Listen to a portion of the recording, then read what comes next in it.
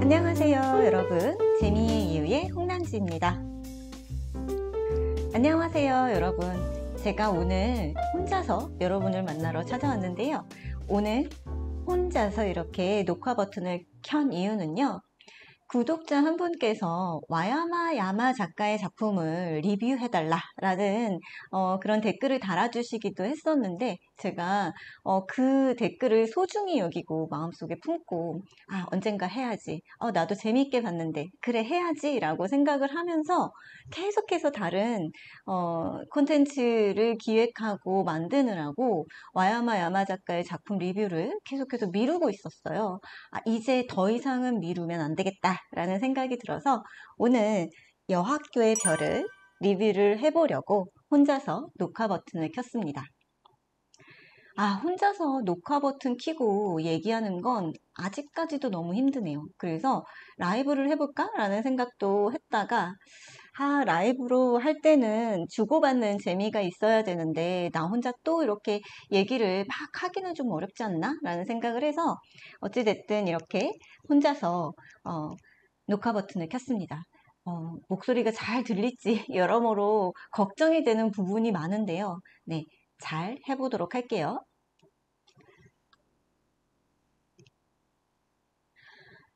네, 여러분, 여러분도 와야마 야마 작가의 작품 굉장히 많이 보셨을 거라고 생각이 듭니다. 빠졌어 너에게 가라오케 가자. 그리고 여학교의 별까지 어, 굉장히 그 인기 몰이를 하고 있는 그런 작품을 어, 한꺼번에 쏟아내고 있는 작가인데요. 어, 저는 이 작가님의 작품을 처음 추천받아서 읽었을 때 어, 그림체가 굉장히 어, 뭐라고 할까요? 섬세하다? 섬세하다 못해 날카롭다? 라는 생각이 들어서 이 작품 학교에서 벌어지는 어, 그런 스릴러인가? 호러물인가? 라는 그런 생각을 하기도 했었어요. 약간 이토 준직과의 그런 장르일까? 라는 생각을 했었거든요. 왜냐하면 너무 섬도 섬세하고 그리고 캐릭터의 그 얼굴을 그릴 때 어, 보통 이 눈꺼풀의 윗 눈꺼풀은 강조를 하는데 아랫 눈꺼풀은 강조를 잘 안 하잖아요. 그런데 와야마 야마 작가의 작품은 어, 보면 그림에 어, 이 눈 그림에서 아래 커플을 굉장히 검게 잘 그리는 편이라서 그러니까 음흉해 보이기도 하고 뭔가 그 다른 생각을 가지고 있을 것 같은 내가 예측하지 못하는 어떤 굉장한 자극적인 반전을 보여줄 거라는 그런 기대가 또 생겨서 어, 굉장히 날카롭고 그리고 자극적인 반전을 주는 작품이 아닐까라는 생각을 하고 읽기 시작했어요. 그런데 제 어떤 일상을 깡그리 부숴버린 어, 빠졌어 너에게 혹은 뭐 가라오케 가자 네, 여학교의 별까지 읽으면서 음, 오히려 너무 섬세한 일상을 다루고 있어서 좋다라는 생각이 들었고요. 어, 이런 식의 반전이면 나의 예측을 모조리 다 깨부셔줘도 좋아 라는 생각까지 했답니다. 오히려 좋아? 뭐 이런 생각 말이죠. 네, 그래서 저는 여학교의 별이 왜 이렇게 많은 사람들에게 주목받고 있고 그리고 이 여학교의 별이 재미있는 이유가 뭘까? 나아가서 와야마 야마 작가의 그런 작품 세계가 많은 사람들한테 재미있게 느껴지는 이유는 뭘까? 라는 식의 생각을 해봤을 때 저는 어, 이 콘텐츠의 제목도 그렇게 지었지만 안전한 무해의 재미를 주고 있다라고 생각을 합니다. 네, 그 이야기는 차차 이 콘텐츠에서 계속 해보도록 할 건데요. 여학교의 별에서 특별히 그리고 느껴지는 어떤 저의 감상은 이런 거였어요. 누구나 경험했고 경험하고 있을 가장 일상적인 공간에서 벌어지는 친숙한 이야기. 그런데 반전 캐릭터들의 향연. 네. 네. 이런 점들이 느껴져서 저는 안전하고 무해한 재미를 여학교의 별에서 느꼈고 와야마 야마 작가의 작품 전반에서 이러한 무해한 재미의 요소들이 등장을 해서 많은 사람들이 힐링이 되고 그리고 특별한 어떤 어, 막 자극적인 어떤 사건이 나타나지 않아도 충분히 재미있다고 느끼는 것이 아닐까라는 생각을 했답니다. 자, 그러면 본격적으로 여학교의 별 것들 파헤쳐 보려고 하는데요. 네. 여학교의 별 매력 포인트를 제가 세 가지를 가지고 왔습니다. 우선 첫 번째 여학교의 별 매력 포인트 마이크로 단위의 평범하고 일상적인 공간에서 벌어지는 별것 아닌 사건들 그런데 그게 바로 재밌다는 거죠. 네. 자, 아까 말씀드렸다시피 어, 마야마 야마 작가의 작품의 어떤 작화 스타일이라고 한다면 가늘고 섬세한 선, 어, 그래서 굉장히 날카롭고 예민한 캐릭터들이 등장할 거라는 생각이 들, 들죠. 게다가 등장하는 캐릭터들의 표정은 거의 무표정이에요. 그래서 어, 저 캐릭터의 성격이 어떨까라는 생각을 유추하기가 쉽지가 않아요. 우리가 흔히 무표정한 캐릭터들을 보면 음, 굉장히 예민하고 날카롭고 그리고 화가 났나 봐. 화가 맞나? 뭐 이런 식의 생각을 하기 마련이라서 어, 이 작품 전반에 나타나는 캐릭터들도 거의 무표정이라 이 캐릭터들의 성격을 어, 유추하기가 굉장히 쉽지가 않아요. 그런데 우리 생각을 해보면 평소에 여러분 어떤 표정 짓고 있는지 스스로 그냥 불현듯 거울을 꺼내서 보신 적 있나요? 저는 가끔씩 어머 내가 이렇게 어, 화가 난 표정을 하고 있었나? 라고 싶을 정도로 무표정인 상태인 경우가 굉장히 많아요. 그래서 무표정인 상태의 내 모습이 어, 떻게 보면 일상적인 평범한 내 모습, 모습일 수도 있겠죠. 근데 여학교의 별의 주 무대는 제목에서 드러나듯이 학교입니다. 학교라는 공간은 우리가 10대까지 혹은 20대 초반까지 어, 우리의 일상에서 가장 오랜 시간을 머무는 아주 아주 평범하고 일상적인 공간이죠. 그 공간에서 당연히 막 웃고 울고 하는 희노애락이 모두 다 담겨 있는 어, 여러 가지 사건을 경험하기도 하지만 너무나 일상적인 공간이라서 우리의 표정은 아마 계속해서 무표정일 가능성이 매우 클 것 같아요. 그래서 와야마야마 작가의 작품에는 어, 유난히 무표정한 그런 캐릭터들이 많이 등장하는 것이 아닐까. 그 이유가 바로 이렇게 평범하고 일상적인 공간에서 벌어지는 이야기라서 캐릭터들도 무표정일 것이 당연하다라는 생각까지 들었어요.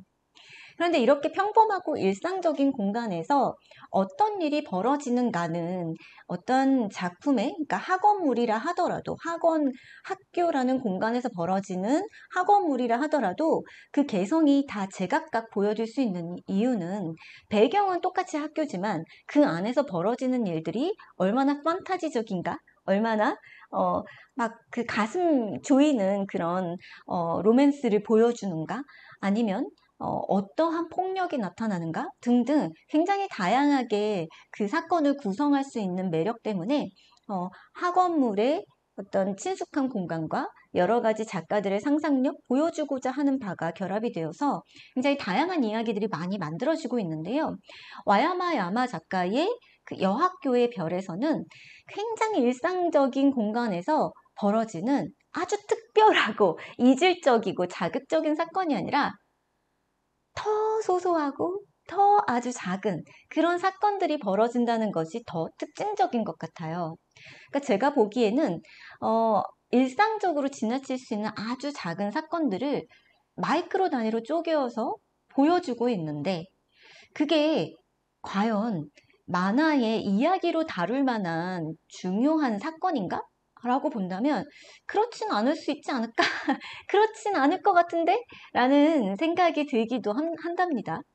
그런데요, 여러분, 저는 10대 시절에 학교에서 어, 아주 센세이션한 사건을 꼽으라면, 음, 자, 뭐 한두 가지를 꼽을 수 있겠지만, 사실은 나의 10대 시절, 그리고 지금까지의 나라는 사람을, 사람의 어떤 정체성을 규정하는 데에는 아주 아주 센세이션하고 자극적이고 큰 사건들도 나에게 굉장히 많은 영향을 미쳤겠지만 아주 작은 평범한 일상들 그 안에서 내가 웃고 울고 상심했던 혹은 화를 냈던 그런 아주 작은 미묘한 사건들이 나의 정체성에 어떤 어, 나의 정체성을 구성하는 그런 아주 작은 세포에 알알이 새겨져 있어서 나라는 사람을 지금껏 규정하게 만들었구나라는 생각이 들기도 하거든요. 그래서 음, 와야마 야마 작가가 여학교의 별에서 보여주는 아주 작은 사건들, 그리고 아주 아주 친숙한 공간에서 벌어지는 그런 사건들은, 음, 어떻게 보면 지금 우리가 뭐 판타지 장르에 많이 주목을 해서 너무 특별하거나 너무 독특하거나 너무 자극적이진 않을 수는 있어도 우리에게 굉장히 중요하고 의미 있고 소중한 사건임에는 분명하다라는 생각이 듭니다. 오히려 어, 지나칠 수 있는 사건을 만화라는 확대경으로 면밀하게 보여주고 있기 때문에 우리는 와야마 야마 작가의 작품을 훨씬 더 좋아하는 것이 아닐까라는 생각이 들기도 하고요. 그래, 나도 이런 식의 추억이 있지. 그래, 나도 지금 겪고 있는 일상 중에서 이렇게 작지만 소소한 추억들이 나에게 잘 새겨져 있어. 그래서 나는 또 내일 눈을 뜨는 거고, 음, 또 즐겁게 학교를 다닐 수 있는 거지. 라는 생각을 하게 만드는 것 아닐까. 네, 그래서 여학교의 별이 더욱 재미있고 그리고 나의 지친 일상에 힐링의 어떤 어, 위안을 주는 것이 아닐까라는 생각이 들기도 합니다. 자, 그러면 두 번째 여학교의 별의 매력. 누가 정상인지 이상한지 판단하기 어려운 개성 넘치는 캐릭터. 이 캐릭터의 다양성이 여학교의 별 매력 포인트 두 번째라고 생각을 합니다. 네, 여러분. 개그물의 흔한 캐릭터 관계성 알고 계신가요? 네. 꼭 이상한 실수를 반복하는 그리고 웃음을 자아내게 만드는 그런 이상한 캐릭터가 있으면 그 이상한 캐릭터의 이상함을 돋보이게 해줄 정상적인 캐릭터가 등장을 하죠. 네, 이 이상하다는 것이 더 이상하게 보이려면 정상성을 훨씬 더 확대해서 보여줘야만 아 얘가 진짜 이상한 행동을 하는 게 맞구나 라는 것을 느낄 수 있게 만들기 때문에 이 대조에서 오는 재미를 보여주려고 항상 어, 보통의 코믹물들은 이상한 캐릭터와 정상적인 캐릭터의 대조를 통해서 오는 그런 재미를 보여주곤 하죠. 그런데 여학교의 별에서는요, 특별히 이상한 캐릭터도 특별히 정상적인 캐릭터도 등장하지 않아요. 약간씩 다들 조금씩 이상하고요. 조금씩 다들 정상적으로 보이기도 한답니다. 네. 여러분, 여학교의 별을 보셨다면, 네, 제 말이 무슨 말인지 다 아시겠죠? 네. 호시 선생님. 어, 저는 사실 이 표지를 봤을 때 호시 선생님의 이 약간 들뜬 눈동자, 그리고 무표정한 이 표정을 보고, 어, 이 캐릭터 약간 그 좀 그런가? 네. 좀, 좀 배덕한 캐릭터인가? 막 그런 식의 느낌을 받기도 했어요. 자, 이 선생님, 눈빛 묘하잖아요. 네. 희한하게 이렇게 눈을 떠, 이렇게 똑바로 뜨고 있는데 입은 아무 표정 없거나 혹은 이렇게 아이고 입만 웃고 있을 때 되게 묘해지죠. 어, 뭐야, 저 사람 웃는 게 아닌 것 같아. 뭔가 무서워져. 라는 생각이 들죠. 아무튼 이렇게 약간 모든 캐릭터들이 묘하게 조금씩 이상하고 묘하게 조금씩 정상적으로 보여요. 그러니까 어떤 한 캐릭터가 난 정상이야 라고 외치고 있지도 않고 난 이상해 라고 외치고 있지도 않으면서 모든 캐릭터가 조금씩 정상적이면서도 이상하고 이상하면서도 정상한 정상적으로 보이는 그런 다양한 입체적인 면모를 가지고 있다는 게 여학교의 별의 매력 포인트 중에 하나인 것 같아요. 저는 이런 이유를 여기에서 꼽아보고 있어요. 어, 우리의 취향, 그리고 우리의 어떤 기준 이런 것들은 굉장히 파편화되어 있어요. 어느 정도 일반적인 어, 좋은 것, 어, 옳은 것 이런 식의 개념들은 물론 당연히 있죠. 우리가 꼭 지켜야만 하는 그런 어떤 도덕, 윤리 이런 것들이 분명하게 어떤 하나의 마지노선을 갖고 존재를 하지만 어, 요즘 같은 때에는 워낙 개인의 의견도 중시 여기는 때이기 때문에 음, 기존의 이런 식의 규범들 내 기준에는 지금 내 생각에는 이런 면에서 좀 맞지 않는 것 같은데? 라고 누군가가 이야기를 한다면 그 말에 어, 귀 기울이지 않을 이유는 없는 그러한 때? 그래서 우리가 어떤 사회에서 정해놓은 어떤 좋은 것 혹은 정상성이라는 그 기준이 예전보다는 많이 파편화되어 있다라는 생각이 들어요. 어, 당연히 많은 사람들의 생각이나 어, 그리고 캐릭터성, 그러니까 성격 이런 것들도 마찬가지인 것 같아요. 조금씩 누구나 흠결이 있고 조금씩 누구나 어, 좋은 부분, 어, 굉장히 어, 뭔가 추앙할 만한 부분? 혹은 옳다고 느끼는 그런 어떤 정의로운 부분? 이런 것들이 어, 이 사람은 무조건 정의로운 사람이야? 혹은 이 사람은 무조건 나쁜 사람이야? 이렇게 완전히 갈리는 게 아니라 조금씩 나쁘고 조금씩 좋은 부분들이 있다는 것을 우리는 삶을 경험하면서 어, 굉장히 많이 알고 있죠. 그리고 사실 겉으로 보기에 굉장히 좋은 그리고 윤리적으로 굉장히 어, 어떤 흠결이 없는 사람인 것 같아 라고 보이는 사람의 속마음까지 우리가 알기는 어렵잖아요. 그러니까 예전에는 어떤 표리부동한 사람이 굉장히 가치 있고 추앙받을 만한 그리고 위인이다 라고 보여졌다면 사실 지금은 그 사람의 속마음을 우리가 어찌 알까 알려고 해도 알 수 없는 게 사람 속이다 라는 생각이 일반적이죠. 그렇기 때문에 어떤 사람들이 겉으로 보이려고 하는 그런 모습과 어, 또 반전적으로 그 속마음이 드러날 때, 어, 그 갭의 차이가 굉장히 또 크게 느껴지기도 하는 것 같고요. 그래서 저는 이 와야마 야마 작가의 여학교의 별에 등장하는 그런 여러 캐릭터들이 전적으로 정상적이거나 전적으로 이상하지 않은 이유도 이런 식의 사회 그 배경에 따른 어, 현상이지 않을까라는 생각을 조금 해봤습니다. 그래서 오히려 우리는 이렇게 조금 이상하고 조금 정상적으로 보이는 그런 여러 가지의 면모가 한데 섞인 그런 어, 개성 있는 캐릭터 그냥 그 자체로 보여주는 캐릭터들이 어, 나는 원래 이래라는 어떤 어, 정체성을 뿜뿜하지도 않고 묘하게 조금씩 이런 것 같으면서도 다른 반전미가 있고 다른 허당미가 있고 이런 식의 요소들이 다 이렇게 입체적으로 어, 들어간 설정된 이런 캐릭터들이 등장을 해서 오히려 우리가 여학교의 별에 더 재미를 느끼는 것이 아닐까라는 생각이 들었어요. 여학교의 별 세 번째 매력 포인트는요.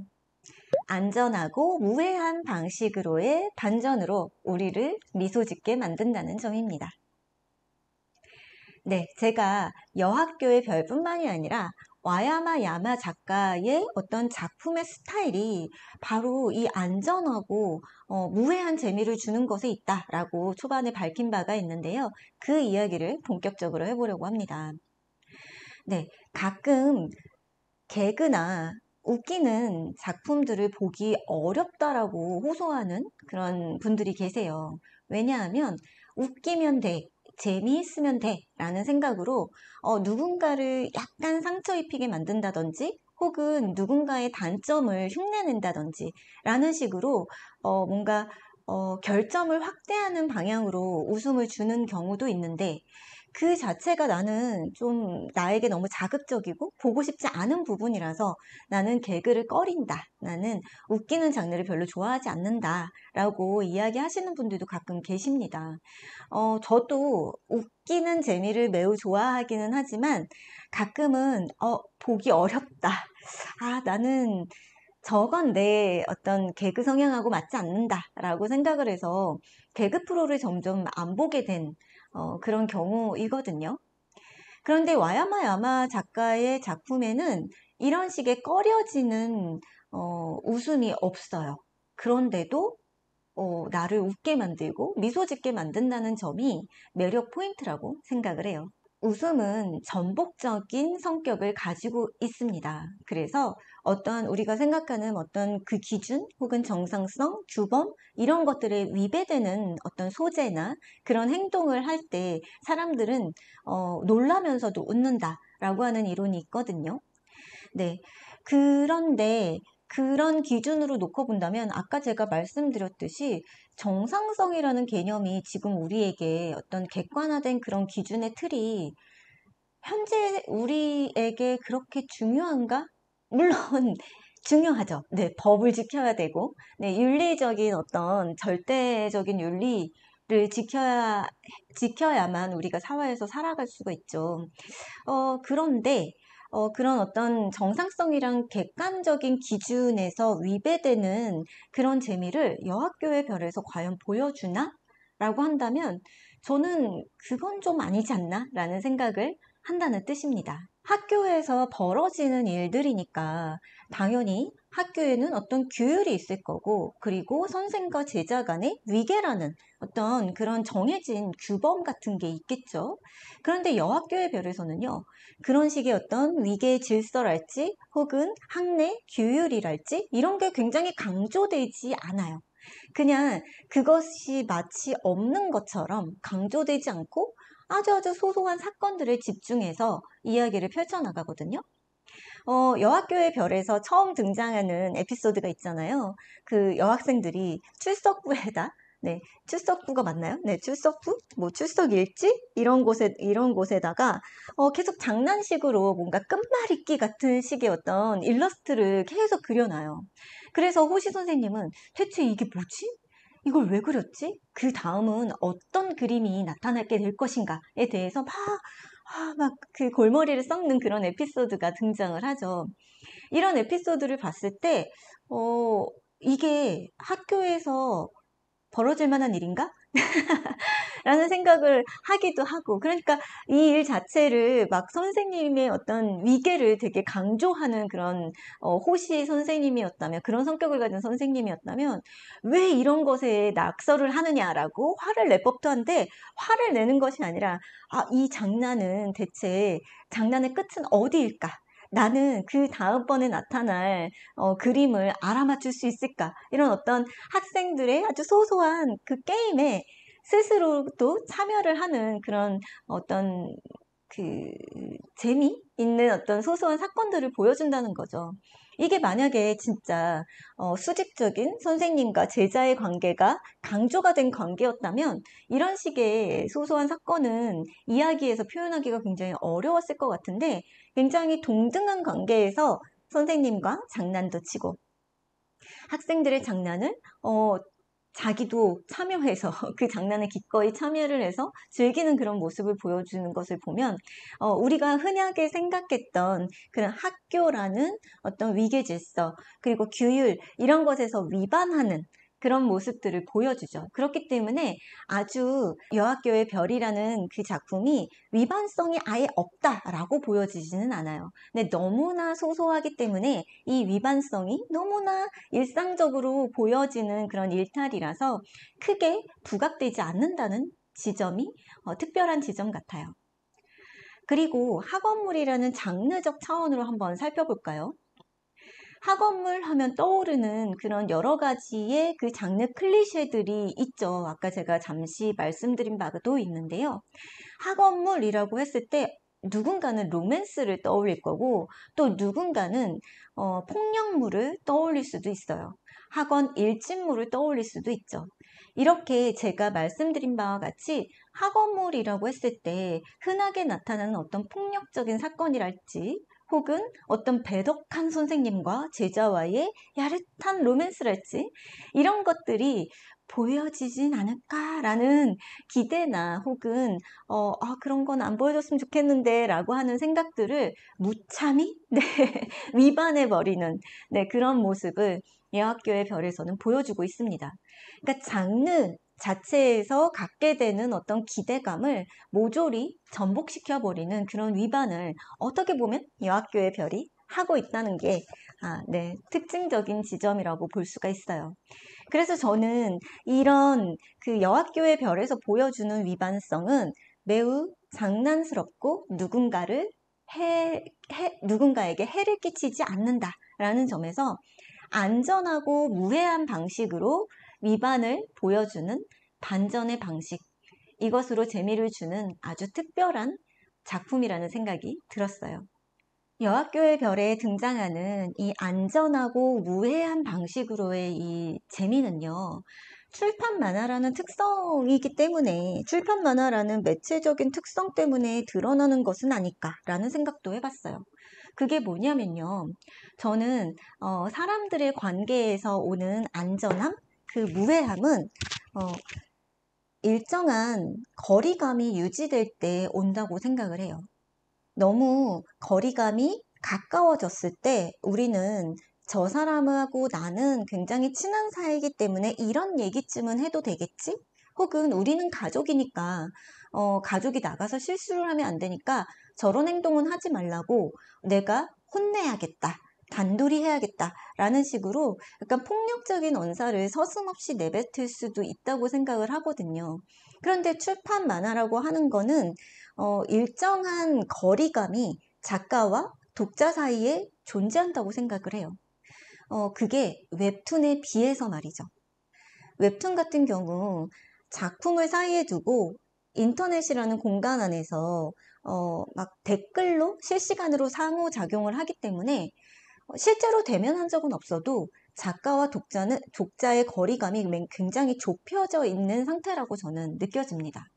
그래서 작품이 어떻다, 작품이 이러하다 저러하다라고 품평을 한다든지 평가를 한다든지 혹은 평가절을 한다든지 아니면 잔소리를 고나리질을 한다든지 네 이런 식의 일들이 굉장히 많이 나타나는 이유도 작가와 독자가 작품을 사이에 놓고 그 거리감을 매우 가깝게 독자들이 느껴서가 아닌가라는 생각을 하거든요. 그에 비해서 출판 만화는 독자와 작가의 거리감이 일정하게 유지가 된다고 생각이 들어요. 저는 그 댓글 시스템이 없다는 것도 그 요인 중에 하나가 아닐까라는 생각도 한답니다. 네, 물론 거리감이 가깝기 때문에 어, 생기는 장점도 분명히 있고 어, 하지만 그에 따른 단점도 발생을 하겠죠. 어, 친숙함을 느끼는 것은 굉장히 장점이지만 어, 거리감이 가까워졌기 때문에 뭔가 내가 이런 얘기는 해도 되겠지라고 하면서 어, 인격적으로 좀 존중이 안 되는 이야기가 오고 갈 때는 음, 이게 장점으로만 볼 수 있나? 라는 생각이 들기도 하거든요. 어, 그러니까 제가 하고 싶은 말은 그겁니다. 그러니까 어떤 관계가 건강하게 형성이 되려면 그리고 우리의 관계가 어, 어느 정도 존중하는 관계야. 하지만 친밀함은 있어. 라는 것들이 어, 신뢰감 있게 유지가 되려면 일정한 개인과 개인 간의 거리가 유지가 되어야 되는데 저는 여학교의 별에 등장하는 많은 캐릭터들이 이렇게 상대와 나와의 거리감이 음, 갑자기 좁혀지거나 네, 무리하게 좁혀지거나 갑자기 또 너무 멀어지거나 하지 않으면서 일정한 거리감을 갖고 상대를 존중하는 태도와 그리고 그런 존중함을 유지하는 가운데에서 나오는 어떤 관계성 그리고 그 안에서 벌어지는 상호작용성 이런 것들이 느껴져서 우리 훨씬 더 안전하고 무해한 관계에서 오는 재미를 느끼는 것이 아닌가라는 생각이 들거든요. 네, 그래서 이 어, 와야마 야마 작가의 여학교의 별의 어떤 안전하고 무해한 이런 재미는 어, 출판 만화라는 매체의 특성에서도 우리가 어, 어느 정도 일정한 그런 무해하다는 경험을 할 수도 있는 것 같고요. 안전하다라는 경험을 할 수도 있는 것 같고 그리고 내용적으로 여학교의 별 자체의 내용적으로도 안전함과 무해함이 어디에서 드러나는가, 어디에서 나타나는가가 은연중에 어, 이 작품 곳곳에 배치되어 있다는 것을 확인할 수가 있어요. 그래서 저는 여학교의 별이 무척 재미있었고 그리고 앞으로도 와야마 야마 작가가 나에게 어떤 안전하고 무해한 재미를 줄 것이기 때문에 이 작가의 작품은 믿고 어, 내가 분명히 챙겨봐야겠다라는 생각이 들었던 그런 작품입니다. 여러분은 여학교의 별을 어떻게 보셨나요? 여러분은 와야마 야마 작가의 작품을 어떻게 보시는지 궁금하네요.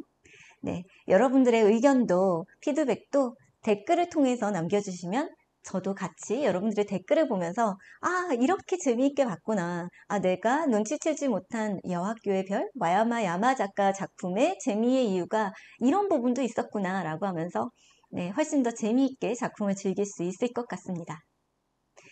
제가 준비한 건 여기까지고요 오늘도 제가 너무나 많이 아 중간에 마가 뜨고 그리고 안 해도 될 말을 해서 편집자님의 어, 편집 실력에 기대어 실수를 많이 했는데 네, 다음번에 조금 더 조금 더 유려하게 네, 조금 더 프로페셔널하게 네, 할 수 있기를 바라면서 오늘 재미의 이유 저 혼자 여학교의 별 리뷰 시간을 가진 이 시간은 마감하도록 하겠습니다. 저는 재미의 이유의 홍난지였고요. 여러분, 다음에 또 재미있는 작품으로 만나요. 안녕!